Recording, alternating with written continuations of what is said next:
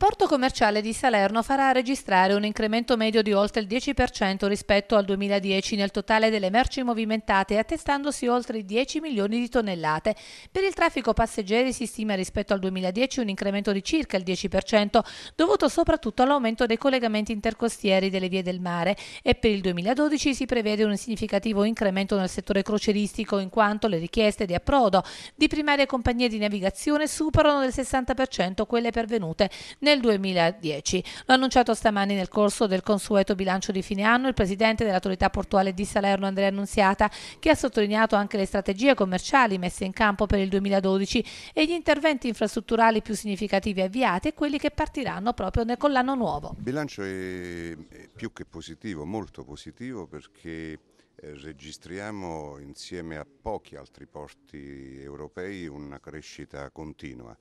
Eh, già rispetto al 2010 che è stato l'anno del grande recupero abbiamo in media un più 10, 12, 13% per le merci,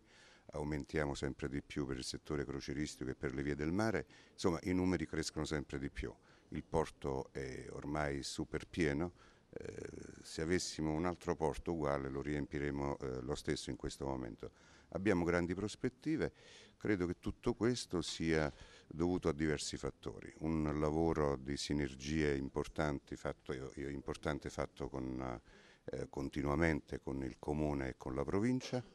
eh, un'accoglienza di altissimo livello eh, sul piano umano, sul piano dell'interesse commerciale, turistico eh, dei cittadini, della gente di Salerno e della provincia e di questa regione dove posso dire eh, e poi insieme a questa eh, attività che abbiamo svolto in quest'anno e negli ultimi due o tre anni in tutto il mondo. Un'azione di propaganda di questa bella città, di questa nostra provincia con le sue bellezze con, eh, naturali e con quanto può offrire sul piano eh, dei prodotti tipici, sul piano commerciale e industriale.